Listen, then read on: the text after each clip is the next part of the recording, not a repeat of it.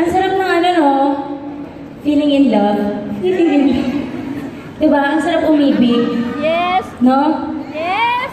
Tapos yung inibig mo dati na punta na sa iba, yung gano'n. Pero iniibig mo pa rin.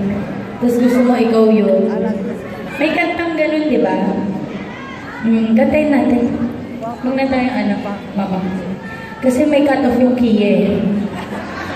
Sabi, pag napuno mo, kahit anong oras, pag hindi, may cut-off. May additional. So pag nahabaan, sisingilin namin kayo, ha? Kantayin natin to. Para may love tayo lahat. Play music.